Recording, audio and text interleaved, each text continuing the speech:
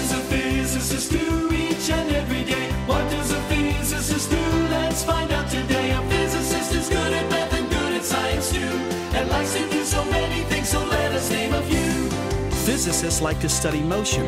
They help car companies develop the best possible seatbelts so that we don't continue to move forward after our car is stopped.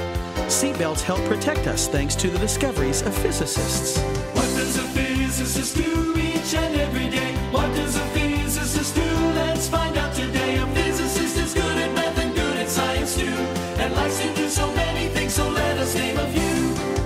Like to watch TV? Do you use a reading lamp when you need extra light? Physicists study all about electricity and try to find new sources of energy. Because our Earth is running out of oil, physicists are trying to learn more about solar energy. What does a physicist do each and every day? What does a physicist do? Let's find out today. A physicist is good at math and good at science too, and likes to do so many things. So let us name a few. Physicists help us learn more about outer space. They have invented powerful telescopes which help us see into outer space and learn more about our universe.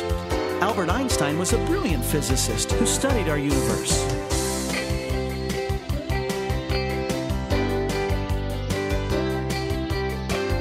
Some physicists study earthquakes and help engineers design buildings that could withstand earthquakes. This type of physicist is called a geophysicist. Would you like to learn more about earthquakes? Or maybe design a spacecraft to take people to Mars someday? If so, you might be interested in becoming a physicist. A physicist